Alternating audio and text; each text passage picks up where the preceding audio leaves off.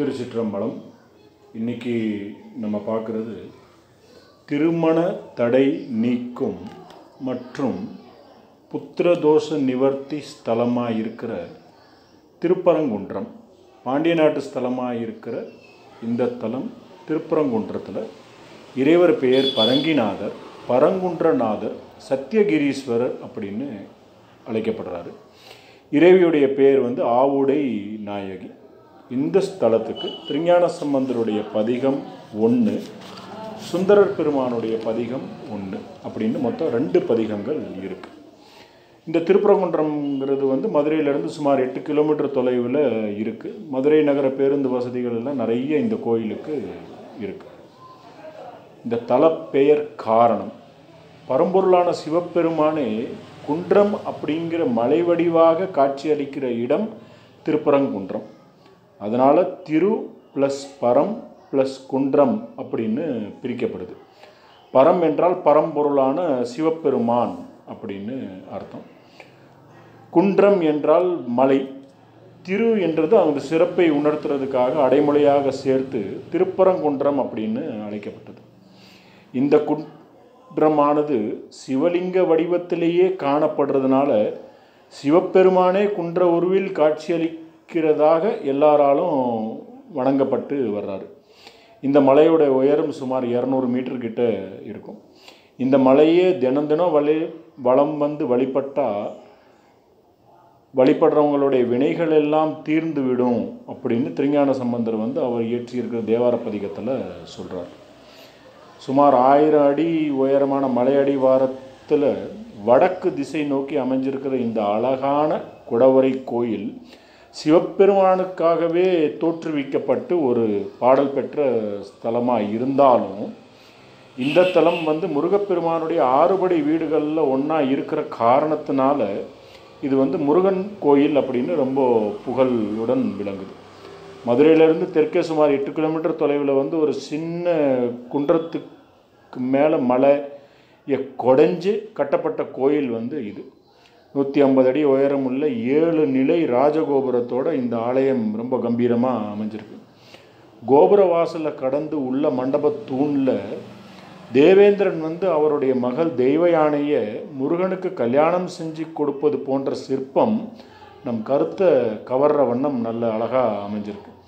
இந்த மண்டபத்தில் இருக்கிற பெரிய நந்தி பக்கத்தில் இருக்கிற பெரிய மயில் அதுக்கு பக்கத்தில் இருக்கிற பெரிய மூஞ்சூர் வாகன சிலா உருவங்கள் நம்ம பார்க்குறவங்க கண்களை எல்லாம் நல்ல கவர்ற மாதிரி சிறப்பாக அமைஞ்சிருக்கு.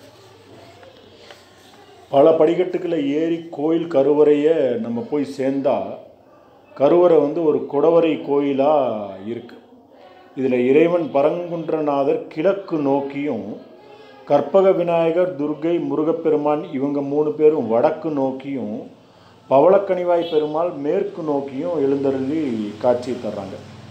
பரங்குன்றநாதர் மற்றும் பல பவளக்கணிவாய் பெருமாள் இவங்களை தரிசனம் செய்யணும் அப்படின்னா சிறப்பு நுழைவு கட்டணம் செலுத்தி அதற்கான தனியாக வழியில் போனோம்னா தான் பார்க்க முடியும். மற்றபடி வந்து மூன்று சன்னதிகளை வந்து பக்கத்தில் இருந்தே நம்ம தரிசனிக்கலாம் சத்தியகிரீஸ்வரர் சன்னதி வாயிலில் இருக்கிற துவாரப்பாளர்களுடைய உருவங்களில் காணப்படுது.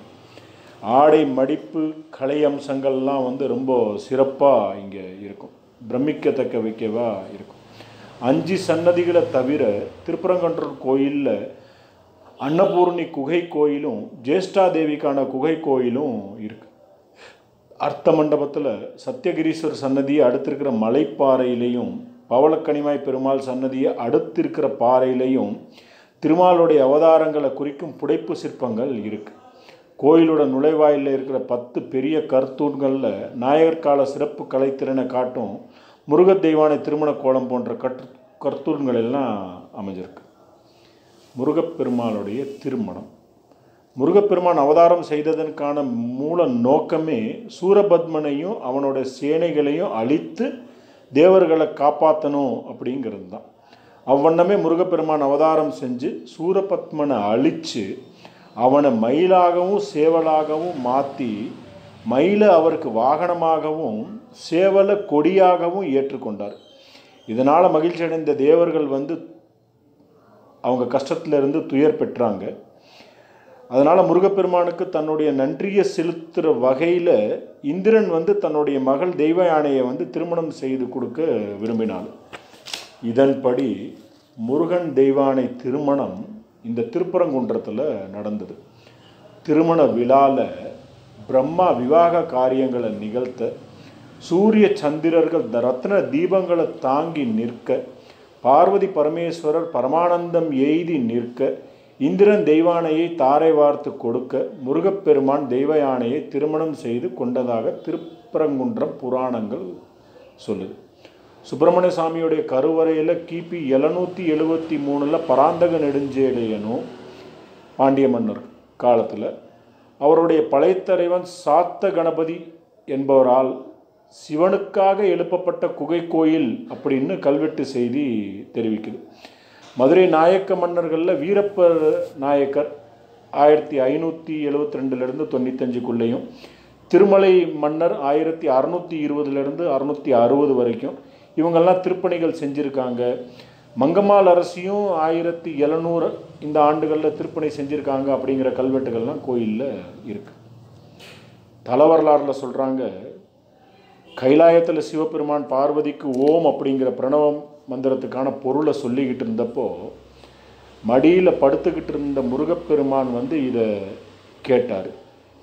தாய்க்கு தந்தையருக்கு பிரணவ மந்திரத்தை உபதேசம் செஞ்சப்போ முருகப்பெருமானும் இந்த உபதேசத்தை கேட்டது புனிதமான மந்திரப்பொருள் குரு மூலமாக தான் அறிஞ்சு கொள்ள வேணும். மறைமுகமாக அறிஞ்சு கொண்டது முறையாகாது.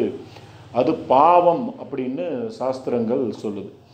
முருகப்பெருமான் வந்து பிரணவ மந்திரத்தையும் அதனுடைய உட்பொருளையும் பிரம்மதேவனுக்கு உபதேசித்தாலும் சிவபெருமானும் முருகப்பெருமானும் ஒரே ரெண்டு பேரும் ஒரேவரா ஒருவர் தான் அப்படின்னு இருந்தாலும் உலக நியதிக்காக ஒட்டாத சாத்திரங்களை ஒப்பாத ஒரு காரியமை நம்ம செய்யக்கூடாதுங்கிறதுக்காக இந்த குற்றத்துக்கு பரிகாரம் தேடி முருகப்பெருமான் திருப்பரங்குன்றத்தில் வந்து தவம் இருந்தார். இந்த நிலையில் சிவபெருமானும் பார்வதி தேவியாரும் தோன்றி முருகப்பெருமானுக்கு அங்கு காட்சி தந்து தவத்தை பாராட்டினாங்க. சிவபெருமான் பார்வதி தேவி இங்கு பரங்கிநாதர் அப்படின்னும் ஆவுடை நாயகி என்ற பெயர் பெற்றாங்க. இவர்கள் காட்சியளித்த திருப்பரங்குன்றத்திலேயே வந்து மீனாட்சி சுந்தரேஸ்வரர் ஆலயமும் இருக்கு.